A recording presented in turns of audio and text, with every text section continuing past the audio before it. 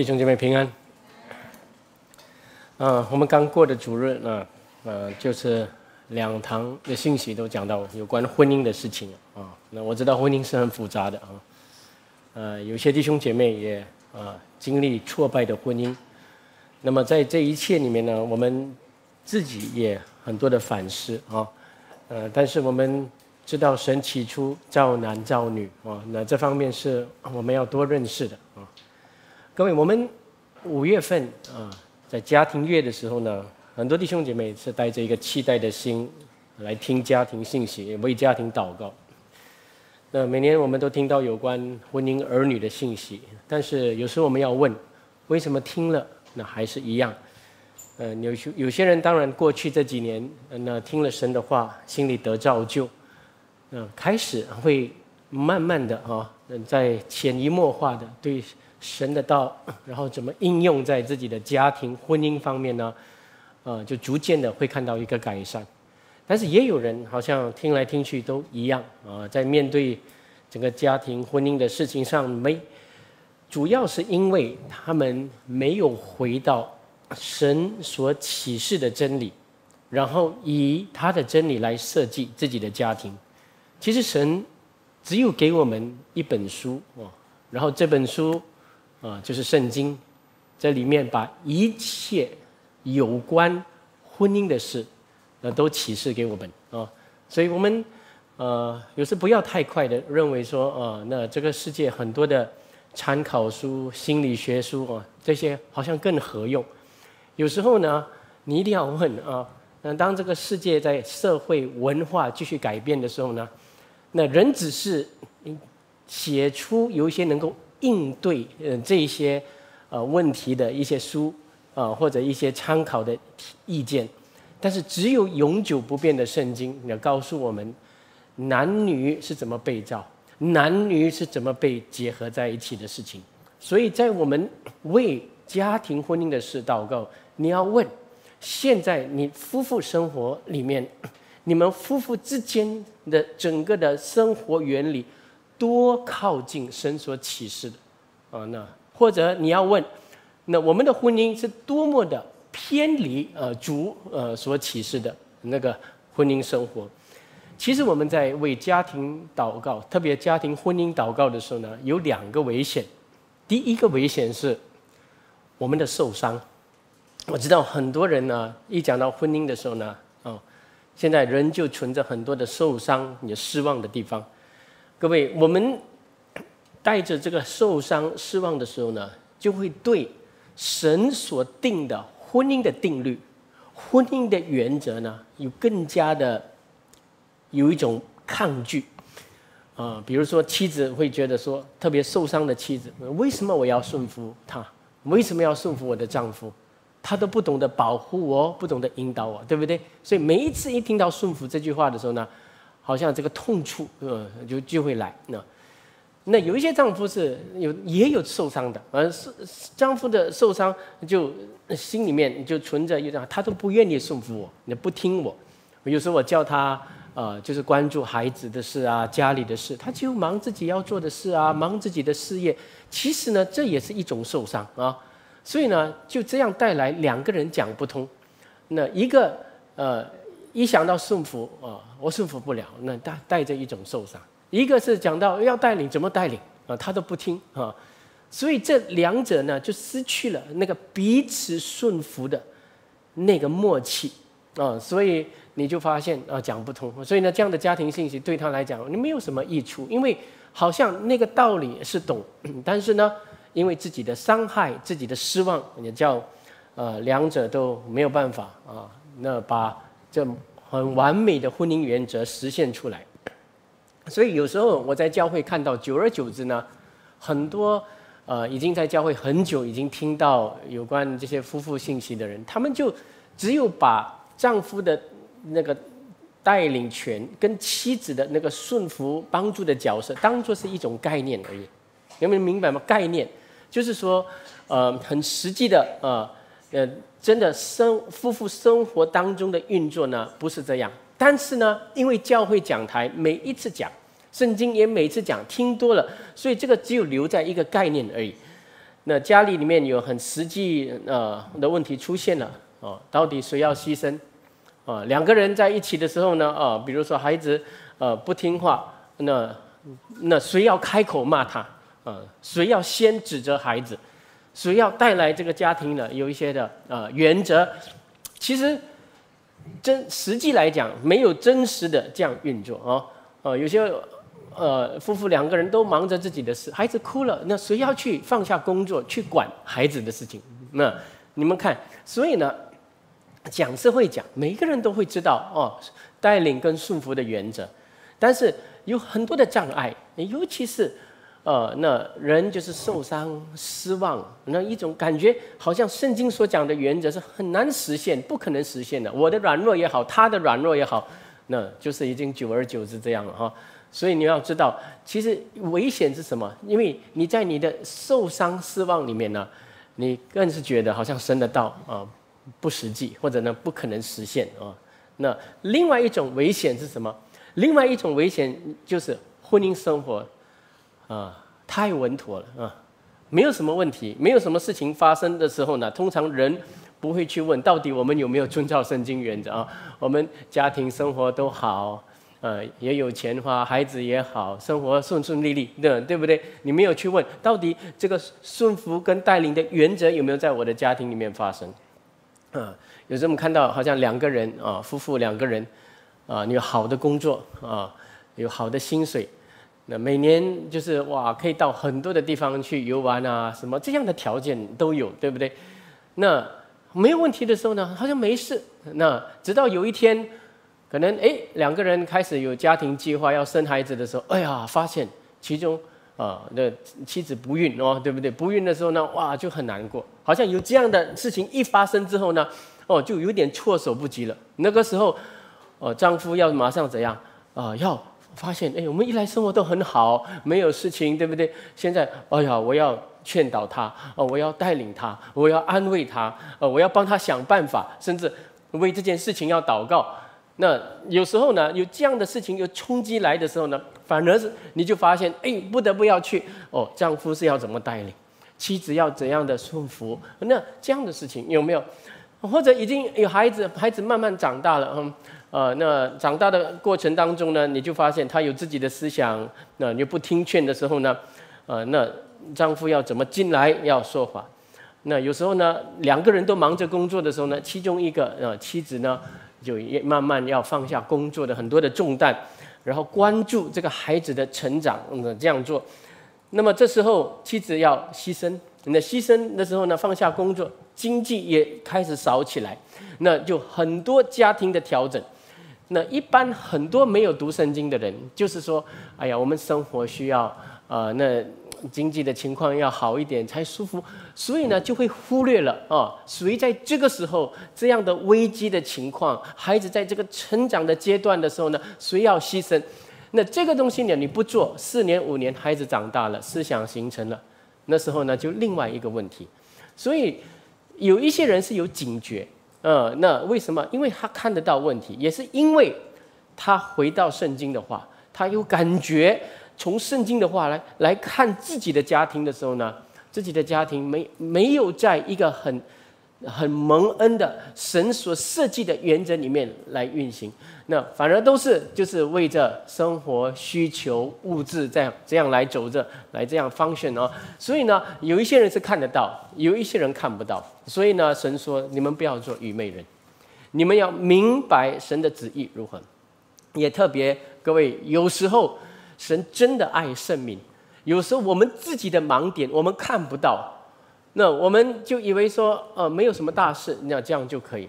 我们没有想过，呃，有时再过几年，再过几年，那孩子也长大了，你们夫妇两个人没有看到这个神荣耀的形象在自己的父母身上的时候呢，他自己进入自己的婚姻的时候，也带着自己的错误的思想想法来设计婚姻，那那时候一代一代的问题就会传下来，所以有时候神爱生命呢，故意制造有有一些环境，把我们。放在那个环境里面的时候呢，我们的心里面才才会被激发，呃，被刺激，我去想啊，到底我们有没有遵照，呃，圣经所讲的婚姻原则？那所以我们人都一样的哈，没有环境呢，不会太在意啊。那那就是生活好，有有有钱，各方面家庭各方面这样就好啊。那有些呃家里很多的事物的，通常哎呀，我们请女佣啊，这样，比如说这样简单的东西嘛，有女佣。但是等到忽然间女佣回去，你就知道啊，那两个礼拜大家家里就打仗了哈，那就是谁要做这个家务，谁要洗衣，谁要做，连连两个礼拜都这样的。我们刚刚这个疫情才刚过哈，这两年有一些弟兄姐妹女佣就回去，回去了不能回来，呃，因为那个疫情嘛。然后我们我就注意看啊，现在你用不回来了，有孩子还小，又有家务，两个人有工作，这个时候谁慢慢要牺牲？或者减少工作，啊，那然后谁要现在比较顾这个家里面的事，我我就这样看啊。那其实很多时候呢，大家都是应对，没有在一起有一个抉择，有一个认识，说这个时候呢，我们应该要怎样遵照圣经的原则来做啊。其实我要讲，我们很多欠缺了哈，因为每年这样听婚姻信息呢，多数的人都是有问题来得到一些安慰解决。但是谁要真实的回到很正最正常的，也是神所启示的那个婚姻生活，呃，没有问题，大家都不管这个东西，就听听罢了，好像这样就觉得说我的婚姻没有这样的问题啊。所以各位，你就活一辈子，只有一生活在地上，也有一只有一个婚姻，那这样你要怎么按着神的话来活？然后那很荣耀的一个婚姻见证带出来。当然，我们每一个人的婚姻。情况都不同，有些另一半还没有信主，有一些丧偶，哎，很复杂的，对不对？呃，那有一些另一半没信主的时候，他的观念没有没有基督教观念，嗯，所以那怎么办？那那所以你也要明白婚姻的原则是什么？婚姻的原则不是只有给信徒哎，这个神造男造女，不管信徒非信徒呢，有男性有女性的，结婚了。有关系了，都是进入这个神所定的婚姻原则里面。那你不信这个原则，你有你自己的一套，你要跟着这个社会的改变。呃，男人、女人，女人也可以做男人，男人也可以做女人做的。你这样走的话呢，那最后一定有一个反效果会出现的。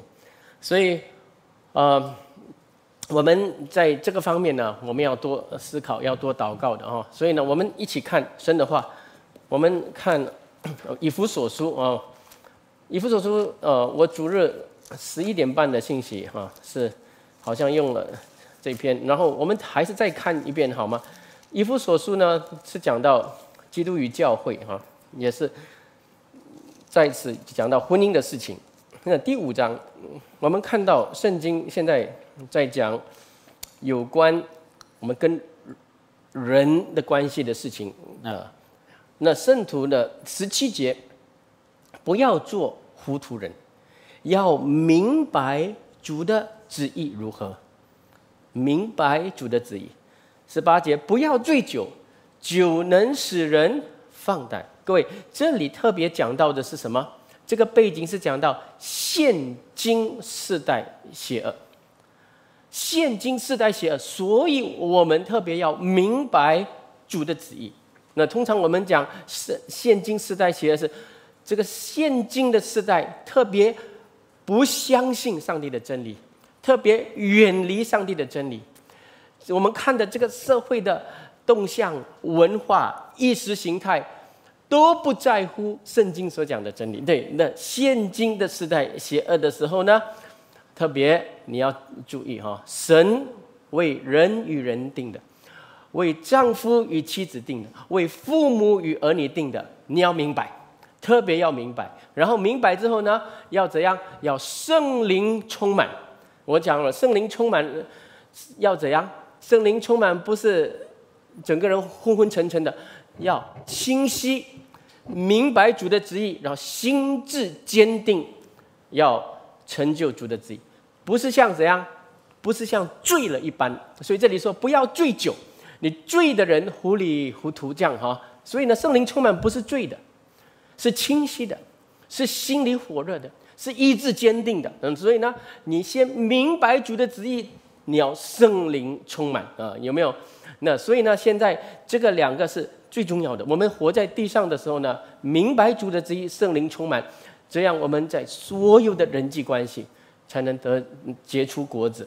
所以呢，现在二十一节说，我们一起读二十一节，又当存敬畏基督的心，彼此顺服。所以呢，人跟人之间的关系都是一个彼此顺服的。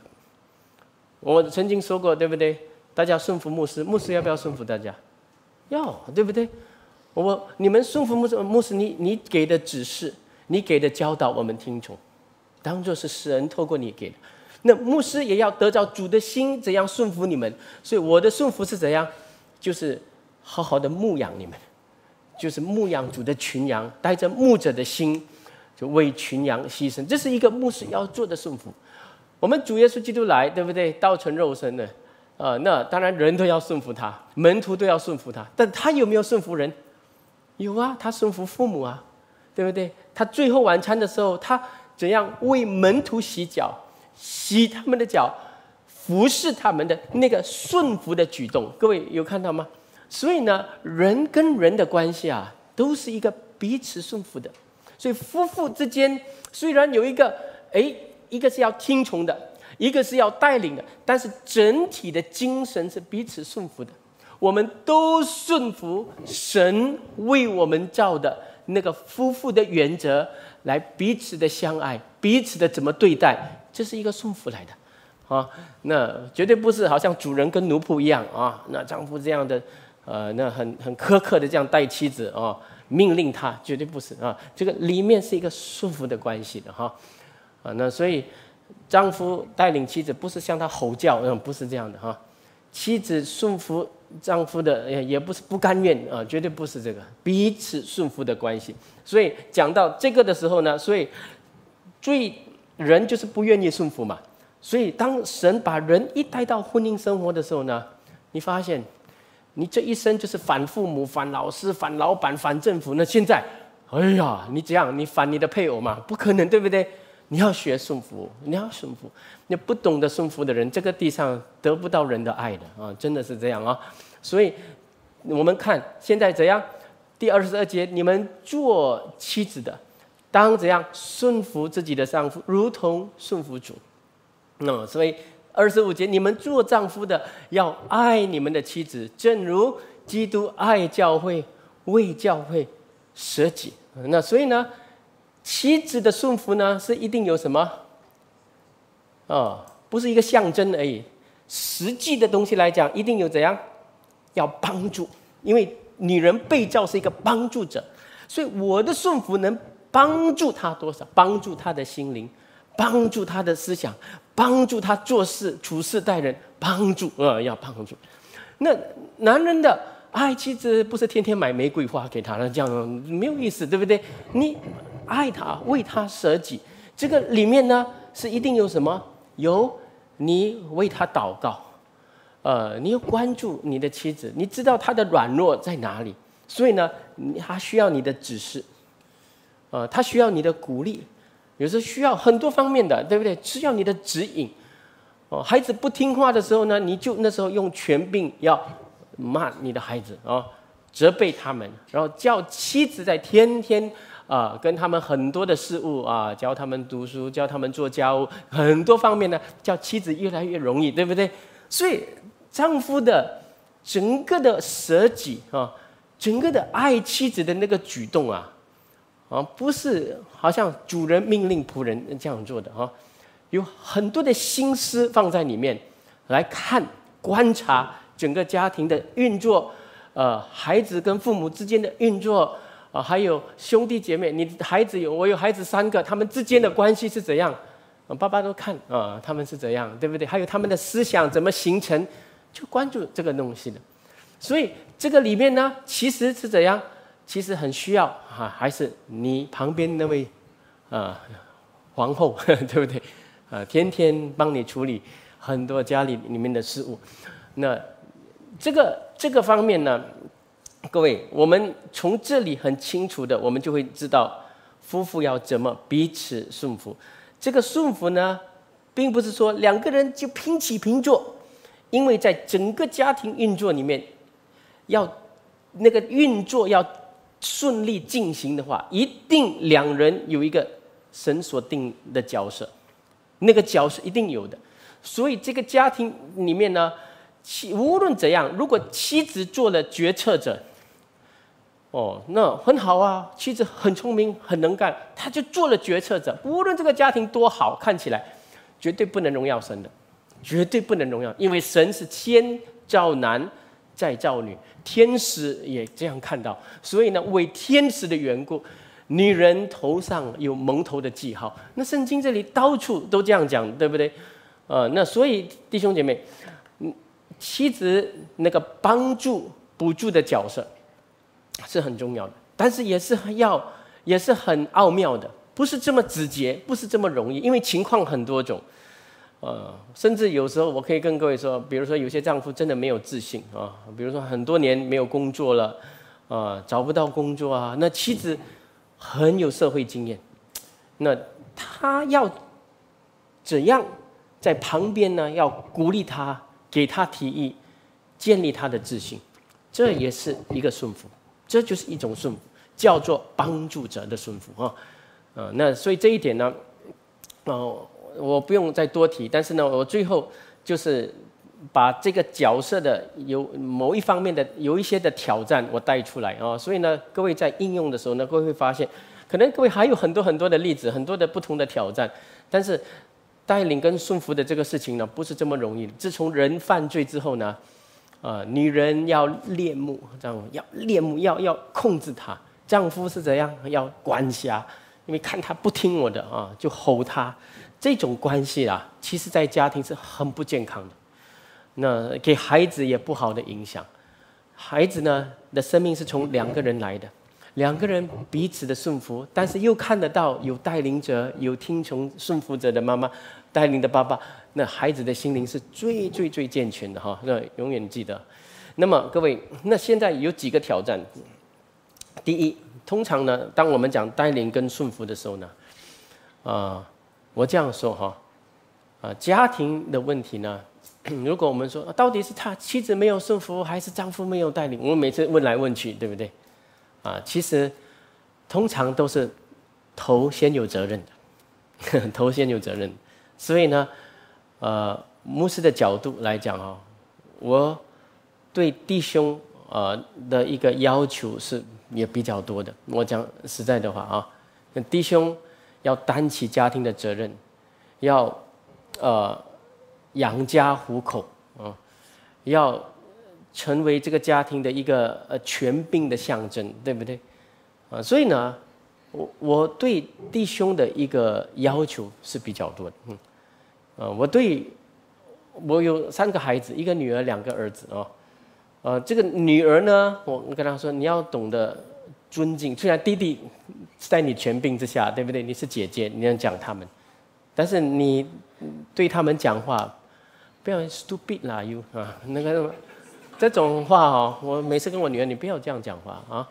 你习惯了，每次哈，每个男人都给你踩下来啊！这个东西，这个，因为他逻辑思维比较，你说女人比较，女孩子比较成熟快嘛，哈，她读书也比较好，所以呢，什啊讲弟弟就反应也比较快，那么姐妹这个很很厉很危险的哈，什么都好哦，呃，只不能顺服，这个是很辛苦的，以后，啊，这个是我每次提醒我的女儿这个东西呢。啊！但是兄弟姐妹在一起，一定是每次 stupid 啊，这就就是这些。但是我的儿子呢，我每次跟他们讲，你们不要爸爸妈妈每次问你们什么，不懂呢，不懂啊？你要不要这个？你要不要选择不懂啊？不懂不懂怪，其实他是不要不要不要讲不要，要就要不要就不要，要不要读书不要？嗯，等一下才读啊，不懂呢。所以久而久之啊，我发现 这这个男人做不了了，这样啊，所以呢，我就跟跟他说：是就是，不是要就要，不要就不要啊。你自己有责任感，自己决定你的时间、你的安排、你的什么，对不对？那不要随心所欲，这个这个东西啊。所以我说，每一个男人，我每次看每一个男人最后都会成为领袖的，你知道吗，孩子？每一个，你就算在教会、在公司不是做领袖，你在家里也要做领袖的，对不对？嗯，我儿子说这样麻烦，不要结婚了。我说你看，你跟我讲不要结婚，以后可能你第一个结婚啊，嗯，那所以呢，那所以呢，这个方面呢，我就说 OK。所以家庭呢，带领者是一定最最多的责任的，对不对？神神一定是。啊，就是把重担放在男人身，但是，但是我这样讲啊，我这样讲的话，有一些男人不可以承受，因为你要知道他已经软弱很久了，所以通常，呃，像我刚才说的，当这个带领者非常没有权、没有自信、没有智慧，啊，帮助者就是姐妹，不要马上就去做头，你越这样做，他已经没有自信了，他就越退后，越退后。所以到一个地步啊，整个家只有你讲话了，姐妹只有你讲话了，那真的是就不好了啊。所以你那时候呢，你要将，如果你丈夫没有自信，你要将你的关注，你的用你的恩赐来帮助丈夫要怎么带领。啊，丈夫需要智慧的时候呢，你可以给他提议；丈夫需要自信的时候呢，你可以给他鼓励。丈夫有点无知的，你要给他 information。你们懂什么叫 information？你要给他情报，知道家里什么事，孩子怎样，不要你自己懂而已。自己懂啊，不用跟你讲了，讲了没有用啊，你也不懂这样，不要讲，你要跟他讲。习惯里面，你不要担任他的位置，但是他的位置是要带领的话，他需要懂啊，家里怎样，孩子怎样，经济怎样，他要懂啊。所以你什么都管到完了，所以他什么都不懂了，对。他不但不管，什么都不要懂，所以让他懂。人知道的时候呢，就会知道哦，我可能需要做一些决定，或者需要提议一些事情。所以呢，这这是一点。所以不要一直留在那种我的丈夫不不能啊，不会啊，不懂啊这这些东西。所以呢，帮助者在那个时候怎么担任帮助的角色，这很重要的。你的情况可以改变。你的丈夫跟每个人的丈夫都不一样，也可能对不对？跟一般的男人不一样，也可能他有经过挫败、有挫折之后，但是你是一个帮助者，你能够帮助到他，你能够医治他，你能够鼓励到他，你能够坚强他，其实帮助者的角色。因为你要知道，你无论多厉害啊，你的头软弱，你很辛苦，对不对？你手脚多厉害的，这个头不能动，不能想，你手脚动什么，对不对？对，所以这这是一个原则来的，原则性的问题。第二，通常我看弟兄姐妹夫妇之间的难处，每次听到这个信息的时候呢，就是常常让个性成为一种阻碍啊，呃，很很奇怪，对不对？我们如果讲带领跟顺服的角色，应该是弟兄看东西比较有宏观啊，比较大体看啊，然后姐妹比较细密。但是现在相反呢，姐妹看东西宏观哇，很客观，比较粗糙一点啊。弟兄啊，很细密啊。弟兄看东西哇，很细，很关注人的心灵什么东西。各位有没有这样的事情？呃，有，对不对？人家讲现在这个时代，其实不是这个时代，每个时代都有这样的人的，因为神造人都不一样。我问各位，你们看我跟师母，哪一个人比较细密？猜，谁讲师母？啊，有人讲谁讲是牧师？你看比较多人啊，这大家比较了解，对不对？所以我牧师是比较细密的。你看我预备信息，你们就知道嘛。你看我讲到人的心灵什么东西，你在其实家里面啊，我每次讲一个蚊子都飞不出的。我的儿子在另一个房间，他搞什么我就知道的啊。他在做什么？他是什么玩手机什么？刚刚就知道的。其实。我是生来就这样，很细，但是呢，到一个地步，后来我发现不好。细是神给我的，但是因为细密不能放下，不能不能不管，其实不好，其实不好。所以呢，有时候我在家的时候，我就跟师母师母，孩子这样这样这样哈，你等下教他们的这个学习什么什么这个东西，你这样跟他们讲，然后就是，然后呢，我教给他。我是故意要教，因为如果我不放手，我真的没有办法。很多教会里面的事我都不用做了，头脑一直被这些东西关注。这个的，所以很细致的人，你要知道，现在你在家庭运作的时候呢，我要在家庭要带领，所以很多时候呢，我跟孩子呢，有有时候我也慢慢学，让师母跟他们多交谈心灵。然后呢，我是出来啊，大体方向怎样？今天生活怎样？今天有没有呃该做的做了啊？呃，有尽责的地方有尽责吗？就简单讲这个东西啊。我我是故意这样，就是不要给他们那个感觉，孩子啊，你的心灵怎样啊？你们的什么啊？什么？我是故意不要你们明，因为爸爸太多这样也不好。但是有时候我在教会牧养需要，牧养弟兄姐妹要，我要知道他们心的心声，他们的挣扎，他们的情况，你们了解吗？但是我在家里面，我叫师母，你担任那个角色比较好，呃，所以有时候呢。啊！我就骂了孩子之后，我骂他们啊，尤其我小儿子就没骂了他。就你之后我跟什么师母，你去跟他讲话啊，那然后跟他说什么什么，这样做，这个你来做，你们了解吗？所以呢，你看我的那个领导，对不对？我我就想到啊，有些东西是我应要做，但是我不是我来做；有些要做，但是不是我来做，师母要做。但是有一些地方呢，我一定要先给他一个家里有一个权柄，谁是头，谁是那个比较严厉的，这个一定要带出来。你这这个就是一个默契。所以有一些姐妹，如果你在公司里面是做经理的，哇，你下面几十个人，对不对？啊，关关关，那你回到家之后呢，你发现你要调整哦，有一定要调整的，因为现在你不是在公司，你是在家，你是一个帮助者，帮助的时候呢。那那时候要改一下思想，改一下 mindset，然后呢，对孩子的事、家里的事要懂，要什么，啊，那比较细密一点。那回到公司又改另外一个啊，所以你要能够做到这，因为这个也是神给你的恩赐，你要明白，这个不是欠缺，这是恩赐。但是你的心灵要遵照神定的那个场合来调整，对不对？你在公司是老板的话，你要老板应该有的那个眼光、那个宏观、那个原则。你在家庭里面你是帮助者，你要细密的要帮助，要关注家里的事物，还有家里人的心灵的事情。这个方面，亲爱的弟兄姐妹，这一点呢，是我们每年在学这个带领跟顺服的事上，男跟女的事情上啊，一。一定要加以进步的啊，不然我们呃，我我我们教会的一些弟兄姐妹哦，我看你这里我们比较年轻的一些夫妇哦，啊，弟兄很洁癖的啊，有些弟兄哦，家里哇要弄到干干净净，姐妹随便擦就好了哈。还好我跟师母不是这样，我是比较在整洁方面很糟糕的哈，啊，不是很糟糕啦，一般啦啊，一般，但是师母是比较好。不然我的家就完蛋了，就这，所以呢，但是我我看这个我们新时代的的弟兄啊，就是洁癖啊，家里弄到干净，姐妹就很压力啊，所以我是觉我是觉得啊，我要跟那些弟兄说，你如果你姐妹做了家务，你永远是你来再来做一遍哦，你的姐妹永远不会学的，你要让家里就是到这个 standard 就好，但是呢，你要。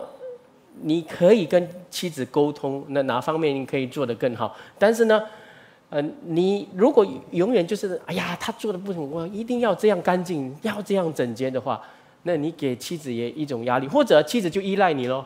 哦，他就说反正都是你做嘛，你最厉害，对这个东西。所以有时候两个人要怎样塑造彼此，不然的话，他女性应该要学习的那个东西没有好好一直这样学，没有进步。那所以这这些方面呢，都是呃两个人要塑造彼此的事。所以这这一点哈，所以跟个性没有关系的哈。个性有各种各样，但是带领跟束缚的那个角色，在家庭里面，特别是你们要祷告出来哦。第三呢，你要看到顺服跟带领的这个角色，男女在做在家里里面，丈夫妻子这个方面做得好，一定有长久的价值的。呃，你遵照神的意思做。恩高必定会来，恩上加恩。我昨天跟师母讲这句话哈，这句话不懂，很多人听了会不会骂我？我说我们教会的弟兄的潜能其实是很大的，不只是在工作、服饰上，其实都可以突飞猛进的。但是现在我看的时候呢，我们的弟兄没有到那个地步，嗯，一般，可能有一些只会呃工作赚钱这样的东西哈，但是呢，呃，能够工作、家庭啊，或者家庭跟呃呃工作跟呃教会两者兼顾啊，这些东西我看很少弟兄做得到，很少弟兄，那。是我的感觉是什么呢？当然有很多理由了哈啊，但是我的感觉是什么？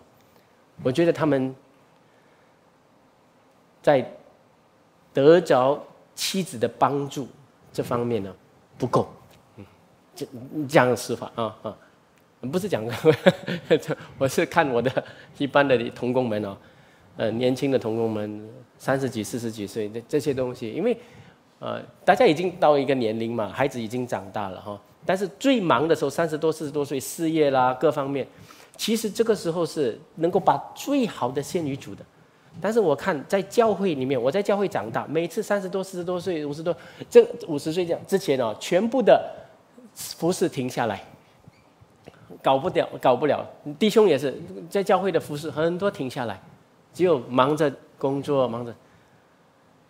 这如果你这样想，人都是等到五十多、六十，嗯，快要太阳下山了才来这样哦，这样服侍主哦，这样那个意义有什么？嗯，意义在哪里？其实我在在讲，一个弟兄哦，如果神为他造了一个帮助者，他的各方面的恩赐才能能够突飞猛进啊，跟他旁边的那个妻子怎么帮助他是很有关系。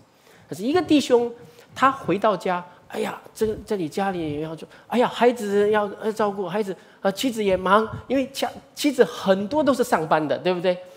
所以他很分心的时候呢，其实后来我发现，在神要求他做的最好的事情上呢，他没有这样发挥他最高的潜能。讲真的，嗯，这个这个我我在崇拜讲的话呢，好像那不太礼貌啊，很多人会抗议。但是我这边讲很多人会听，嗯，但是呢，我也不是我我崇拜的时候没有想到这个东西，我是导聚会完之后，我那天我看弟兄姐妹，呃，他们之间，哎呀，我觉得有一个不理想，呃，所以我说，我也不是说妻子要完全放下工作，但是妻子呢，因为现在妻子的工作量也很多，呃，在公司也做经理，做什么，哇呀，很多的工作也带回家做。我说妻子也把工作带回家，孩子如果现在小学、中学，你工作带回家的时候呢，家里怎样？你们有没有想过这个东西？起码你要做工的话，做安胎工，你明白吗？安胎工 你们了解吗？不用什么，就是 eight to five 啊，完五点下班完事就完的，你们你们了解吗？呃，那如果你还要七点、八点、九点工作带回家，这样做工的时候呢？你你会看到长远的那个取舍在你的丈夫身上，他在服侍，他在思想事情，他在带领各方面的事，甚至他自己的事业要怎样发展，其实他有欠缺，因为他有后顾之忧。我跟各位说，一一个人做认真的工作哦，是要怎样，四五个小时能够很集中专注。这样做工的，对不对？你能够四五个小时集中专注的工作，才能把没有的变成有，对不对？好像我的信息啊，你你以为这边孩子，这边写两句啊，这边家里妈妈一下桌子，然后再来写两句，你以为这种信息能够出来啊？不可能的。所以在一间公司里面，为什么 CEO 的工钱是最高？他们是集中专注。整个公司里面的那个 planning，他设想整个是情情况的，不是这边做一下子，然后分心那边这种工作呢，是一般拿一两千块的人做的，你们两两三千块的人，你们明白吗？那种不需要集中力的，真的需要很重要的集中的，要很全身心关注的工作，然后这样的好像从无变有的哈，你们明白吗？这种工作啊，才是人能够花上好几千几万块，然后聘请你来做的东西。你们明明白吗？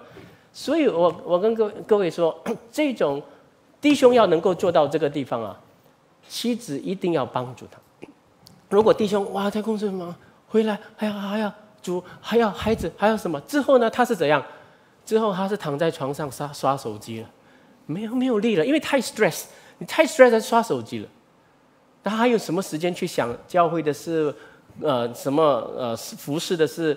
呃，小组员要带领的事，从来没有时间想这些东西了。